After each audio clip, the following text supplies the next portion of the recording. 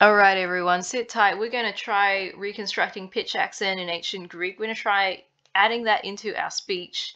I'm going to give you some practical advice for a plausible and pleasurable pitch accent, but the first half of this video is really going to be defending what we can know about pitch accent. Firstly, what's the reason why you would try to reconstruct a pitch accent?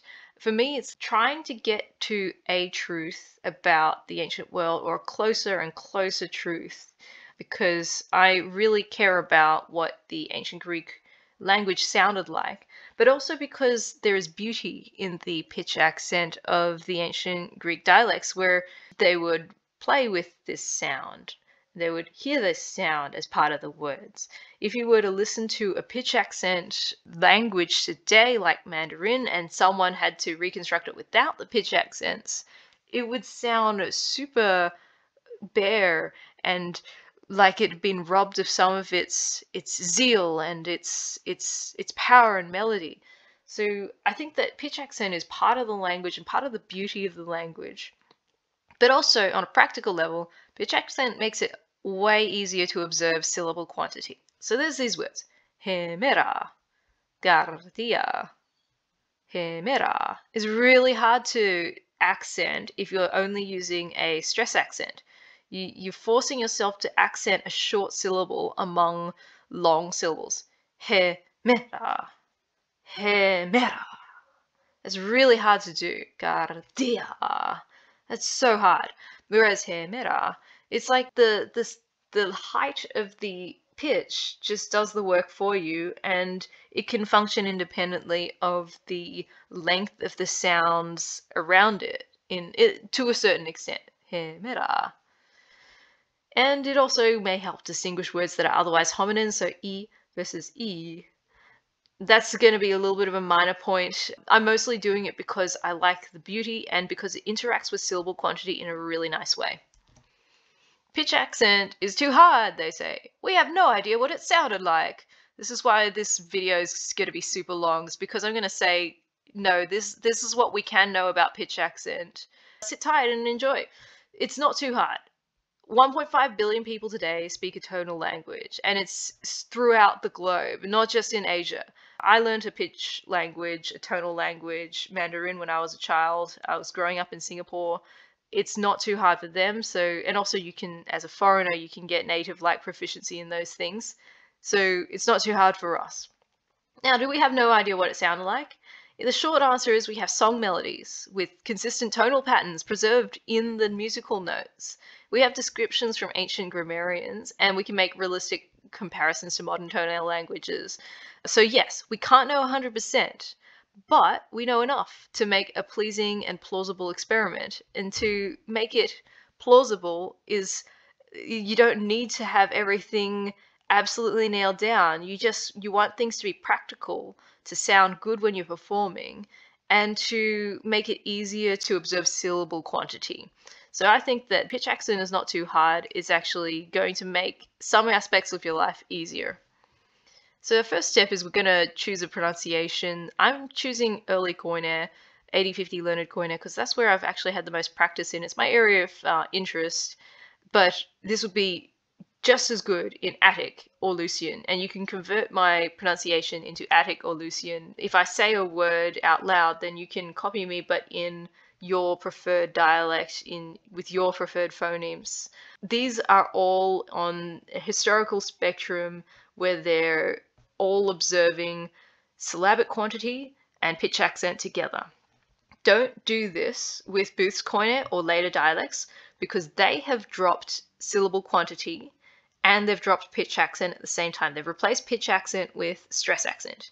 And Booth Booth's Koine system explicitly says like no, no to pitch accent. It's a stress accent system. This one. So um, I'd, I'd respect that, and and uh, if you're doing modern Greek pronunciation, do it in modern Greek. Uh, that's that's that's the matching thing. What about Erasmian though? Because Erasmian is not historical it doesn't belong to any period. So you can't say like it's inaccurate to do it this way or that way. It's just a, a language of convenience. Well, pitch is theoretically possible in Erasmian. You can you can overlay pitch onto like a set of sounds in Erasmian, even if it doesn't observe syllable quantity. But I think it would work best if you observed syllable quantity.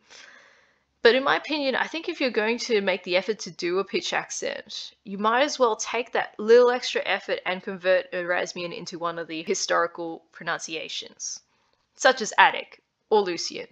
There's lots of videos on how to convert Erasmian to Attic or Erasmian to Lucian at least. That would be well worth the investment. So now I'm going to continue in AD 50 Learned Koine. And here's a little crash course in rhythm and syllable quantity, just because I know that not everyone actually learns these rules, even though a lot of people get drilled into them the rules of accent. I'm not going to talk about the rules of accent, but time in in the Greek language is divided into morae. This is a subdivision of the syllable. Every syllable either takes up one mora if it's a short syllable, or two morae if it's a long syllable. Now they can be long vowels and short vowels. Long vowels include a, e, i, o, u. Diphthongs are also long. I, e, o, u, av, ev, ev, u, a, e, o. All of those are long sounds. They will make any syllable that contains these long vowels also long. Then there's short vowels a, e, i, o, u. And so long syllables contain a long vowel or they end in a consonant. And short syllables don't end in a consonant and contain a short vowel. Let me draw an example.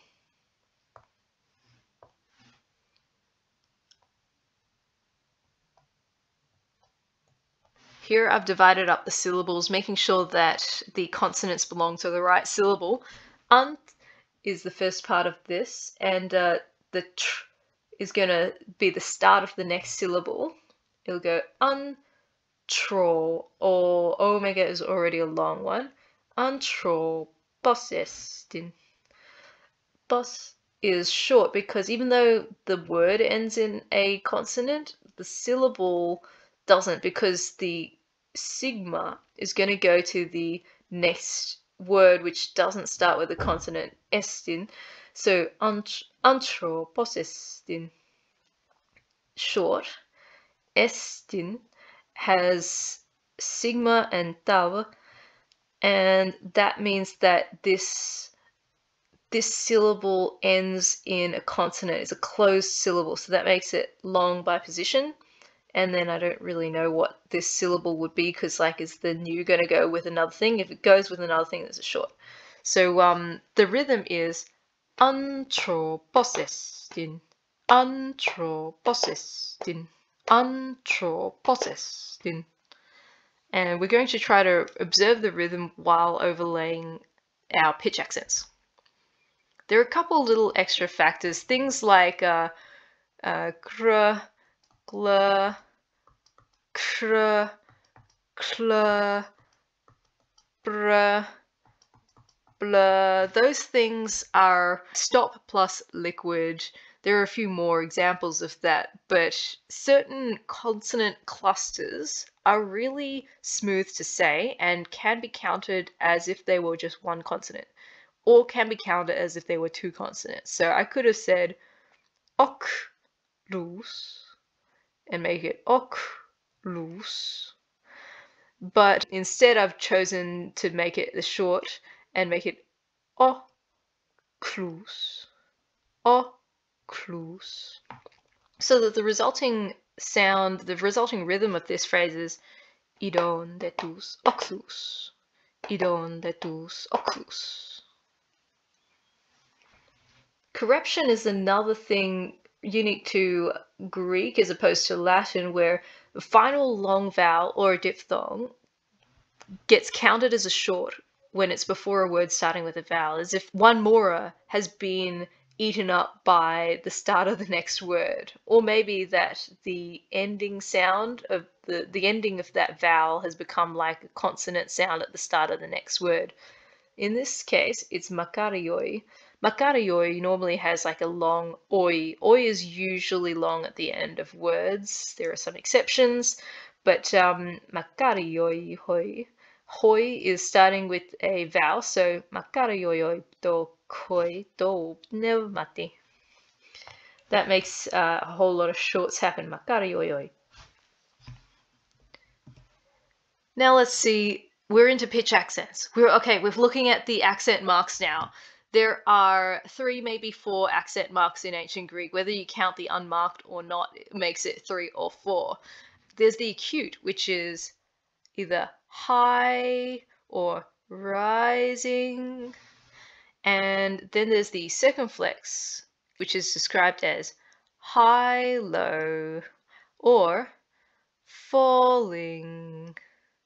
Or sometimes there's like rising, falling. I could represent it like this. There's like high, low, but um, I think it won't necessarily be helpful to think of it as low, high, low, low, high, low, because I don't think there's enough time in the morae for it to go to start at a low pitch, go up and then go down. I think that actually that is an illusion that it rises to the top one, and it actually just starts at the top and goes high, low, and uh, and gives the impression of a low, high, low, high, low. Uh, next we have the grave. It's either a lack of accent or a lowered pitch. I'm inclined to say that it's a lack of accent and that the lowered pitch description is really lowered in respect of the grave only appears at the ends of words where an acute would have been at the end of that word, but because there's a word immediately following it, the acute has been turned into a grave. So relative to you would have expected an acute there, it's been lowered down to neutral. I don't like to think of it as it's a it's lower than the neutral, like force it lower than the neutral. I'd say that this is neutral pitch. So gay has a grave marked here because in isolation this word is gay, but here it's gay anoixas, gay anoixas. So that's where I'm I'm just treating it as a neutral sound, and the unmarked unmarked like this one anoixas.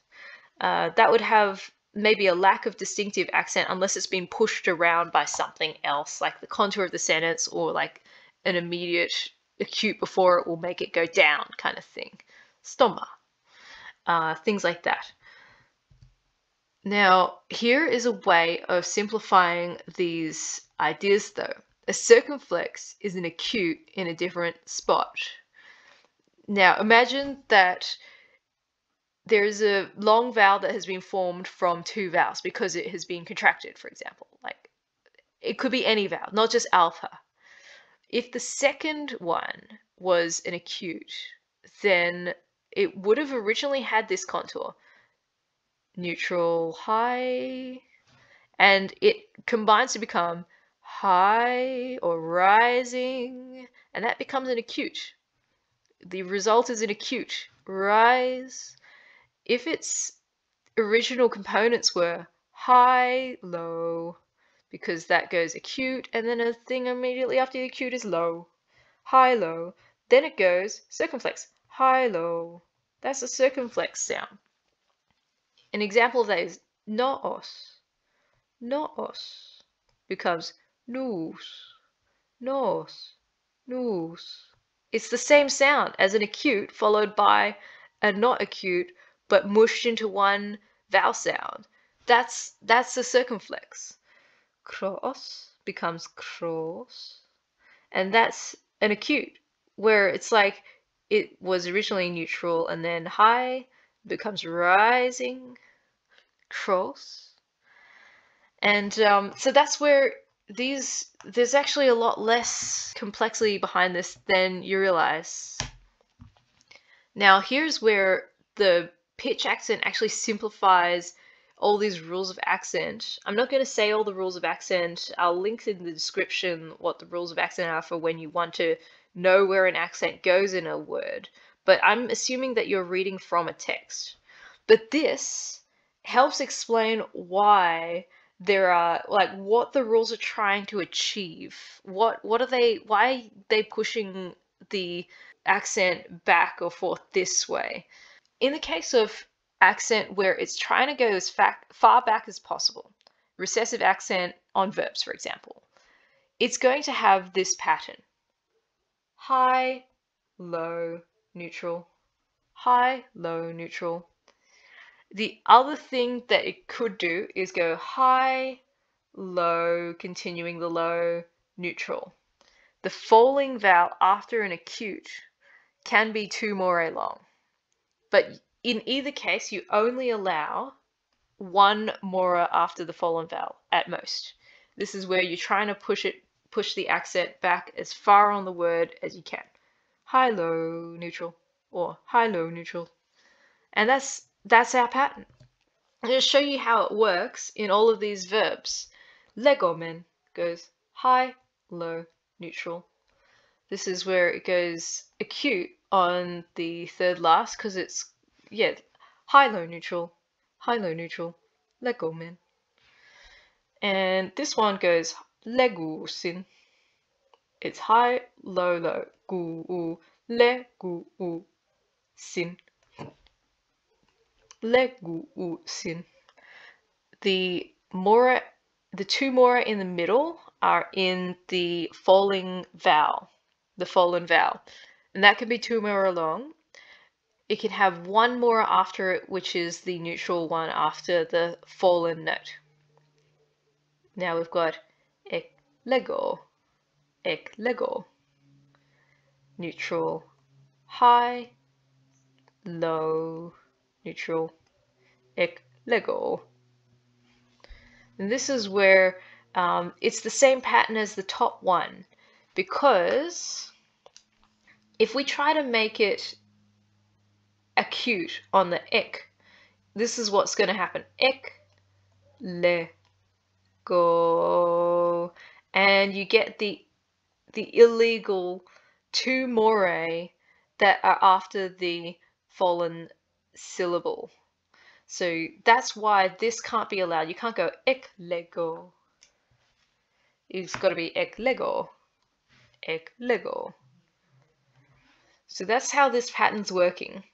Now we have, what about syllables that could possibly take a circumflex? Circumflexes, because they go high, low, can only exist on vowels that are two more long, long vowels. So um, in this case, we've got lu or men, it's gone neutral high, because that's what we're saying that an acute on a long vowel is neutral high or rising. Lu or men. Possibly it could be a held high. I'm, I'm, that's a possibility. Lu or men. Lu or men. And that one is observing our rule workers high, low, neutral, just like legomen, Yu men. It goes do do do. If we were to try to put a circumflex on the Lu omen, it would be like going ek Lego. If we're going Lu, so it would fall on the same circumflex symbol uh, syllable, Lu, and then it would go omen it would have two more after the fallen bit, and that's not right. Now we've got this word, lu. It's got a second circumflex goes high, low, neutral. Lu. Lu. Do, do. Better write that better. Do, do. That's um, where a circumflex, because it goes high, low, in that in those two mora that it takes up, it can only be followed by one more mora. And that's why you can only have a short at most after a circumflex. And then we've got, what about this? Lu, or that's like neutral high, or maybe high high, could be held high. Lu, or, and that's following our pattern of Uh, high, low, neutral. Yeah. And that's why this has to be as far back as the accent can go if the word is like that. So you can see that the pragmatics of pitch and the, the, the overall pattern of high, low, neutral is what's driving all of these weird long list of rules of where an accent's supposed to go if it's moving around. So now, halfway through the video, let's see if we can use mu- musical transcriptions to check if our theory about, like, say, acute is high, and then you go down after an acute, and like a circumflex is a falling pitch. Is that right? We can use songs from the ancient world. In general, songs that native speakers are making are going to try to preserve the, they're going to try to respect the pitch contour of the words that that they contain. It won't necessarily be perfect. Like here's an imperfect example. 祝你生日快乐 is the original contours of that phrase. And in the song it's 祝你生日快乐祝你生日快乐 It's happy birthday to you 祝你生日快乐. But you can see, even though it's imperfect, there are contours that are being respected here. Now what about this, the Seikilos epitaph? This is not the only piece of music that we have from antiquity that's preserving pitch accent contours. I want to show you that there are actually several songs by Mesomedes, such as this one and this one that's like 70 something bars long, there's also fragments of Delphic hymns, several fragments. So even though I'm going to focus on the Seikilos epitaph, that's not the only piece of evidence. It's not just eight bars that we're like basing an entire theory on. This song goes, Hosonzes painu meden holo silipu prosoligones titozen dotelos hokronos apaidi what can we say is it doing with the pitch contours here? It goes hosonzes. Um, the first bar is weird. That one, I think, is it's establishing the what the um the chords, what the what the melody, what the key is. So I think that this phrase, we should go hoson, is is instead being made into like a declarative statement at the start, like Hosanzes. Also, a lot of the performances that I have for Zes, uh, Zes, have it go falling slightly over the course of its three notes there. And that's, I think, because people know that there's a circumflex there, but it would fit melodically for it to go fall down to Painu, Zes Painu. Uh, so that is not necessarily an exception to circumflex equals 4. But like besides those weirdness in the first bar, it is remarkably matching a lot of what we're saying about how the tone is supposed to be read. So, an acute is high or rising. Painu, painu. That's that's rise, rising. That's rising. Oligon, that's a li is higher than the surrounding notes. Dotelos, that's telos is higher. Hokronos, kro is higher. So acute is either a higher syllable or a rising pi. Notice that the the long vowel pi is made to rise. It's not going pi nu like it starts on a high and falls. That would be circumflex. In the circumflex, we have other than the zes at the start, which is hard to read, we've got lipu and zen, and we have apaiti D. I had to transpose that because I chose too low of a pitch. Uh, Bu, Zane, and D all show falling contours. The grave and the unaccented don't seem to force the the pitch up or down either way, but seems to be a transitional note between wherever the musician wants it to be. So the den in Me'den is actually allowed to rise. It's not forced to go down. But that's because the next note is higher than the previous ones, like mid and hollows. The most important part is the hollows. So it's it's not affecting necessarily the, the it's not making a big effect on the pitch contour, but it's being affected by the pitch contour. Also, we've noticed that after the acute, there is a lowered pitch that go like la la, la la, pi nu. Nu is lower than the pi nu. Oligon. The gon is lower than the li. Totelos. The los is lower than the te. Hokronos. The nos is lower than the cro. So that, that confirms a lot of what we've been saying as the real contours of the pitch. All right, half an hour in, let's try to associate a pitch contour with word identity. We're going to say these words in different registers with different starting notes, and the point is that they have a contour, but you can transpose this and it will still be intelligible. Anthropos. Anthropos. Let me put my laser pointer up. Anthropos. Now I can start high, anthropos, or I can start low, anthropos, or even lower, anthropos.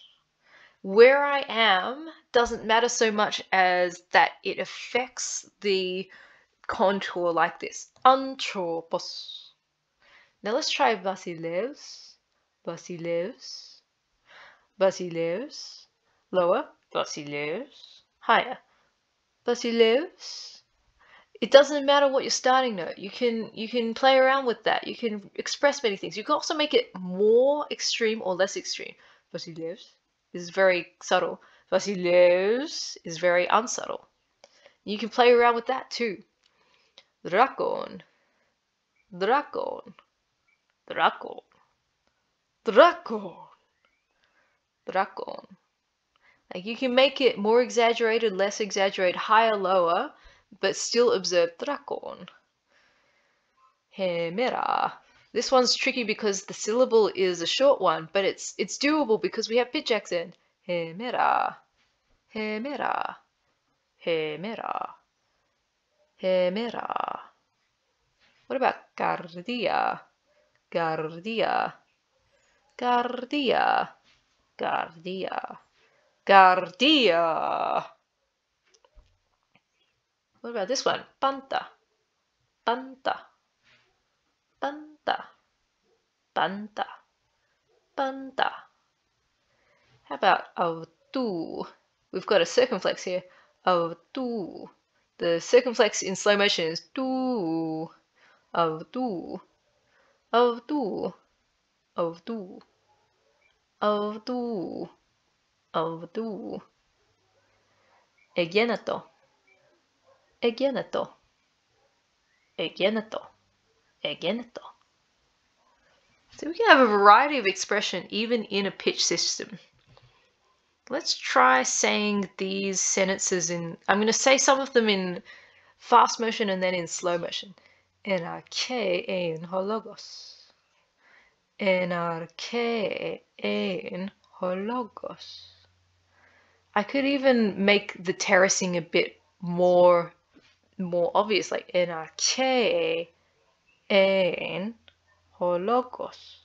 So I don't have to rise to the same height for each accent, but I could make parts of the sentence higher and then re-establish a new starting pitch and then go from there or make it make it lower, make it higher. NRK and hologos. NRK and hologos. I can make some of them more exaggerated than others. If I want to emphasize a word, then I might want to bring out its accent more, or not. In a ke ein hologos. Gai hologos ein prostonteon. Gai hologos ein prostonteon. Gai hologos ein prostonteon. Gai teos ein hologos. Well, that one was hard because we have a sentence where we want to emphasize a word that has a grave on it. Okay, teos. Teos. The word was God. That is extremely surprising because we just said that the word was next to God, or like near at God, and now we're saying the word was God. that that does your head in. And so that's why teos has been moved early in the sentence to really emphasize it. Teos en hologos. In that circumstance, this is where pragmatically we might want to say this grave shouldn't be a grave. We're going to put a pause after it, allow it to become an acute again. And and I think that that would be a good strategy. This came from Randall Booth, who uses a stress accent system, not a pitch accent system. And his advice in this line specifically was turn that grave into an acute, make it a pause for dramatic effect. There, there can't be every single thing, every pause written in as punctuation. And punctuation itself is quite subjective. So it's up to the, the performer to decide whether there should be a pause somewhere or not. And I think that anyone with the brain on will probably put a pause here because of how surprising this sentence is. And the word was God. Theos ein hologos. And that means that with an acute there, we don't have to make the like the high point of this sentence the ein which just absolutely kind of seems to be the wrong word to emphasize. Gaiteos ein hologos. Gaiteos ein hologos. I'm still doing ein as a dropping tone. It's just dropping from a different point and it's not necessarily going like a giant jump up and then down. Gaiteos ein hologos. And another example that I found in the Gospels is in the, the Beatitudes. Blessed are the poor in spirit. That's another word that is got a grave accent. But pragmatically, in that sentence, this is the emphasized word. Blessed, who's blessed? The poor. That's un unexpected.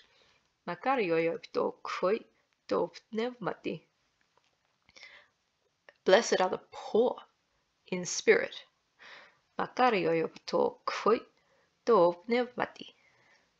So that's that's how we're going to apply it practically. Let's try putting it all together. I'm going to say in casual kind of way what I might do with the accents here. Εναρκέ ειν hologos. Και hologos ειν προς τον Θεόν. Και Θεός ειν hologos. Χούτος ειν εναρκέ προς τον Θεόν panta di avdu egento. Jag foris avdu egento udehen. It's not perfect, but it's practical, it's plausible, and it, I think, is pleasurable. So I hope that that helps, and especially try practicing slowing down things in slow motion if you get stuck, like in our K hologos, and then speed it up again. K en hologos, and you can you can get the identity of the word that way. Practice saying words in different registers basileus. Like maybe that would be something like teon, teon, teon, teon, teon. Depends on what word you find hard to accent and I hope that works. That I also have some acknowledgements and further resources here. I wouldn't have been able to get this far in pitch accents without Luke Ranieri's video on pitch accents for his patrons. That one, it's behind a paywall, but you only need to pay like $1.50 or something. It's, it was pretty pretty affordable. If you're into pitch accents, then probably that would take you further than this video. The other thing is completely free. Podium Arts, Ioannis Stratakis has a video where he does exercises on saying pitch accents in the last three syllables of words. He makes the grave go downwards in his exercises. But he's very good with his pronunciation, uh, an excellent one to follow and to imitate. Those are the resources I would point you to, and I hope that this has been a good start on pitch accents and uh, look into what they can sound like.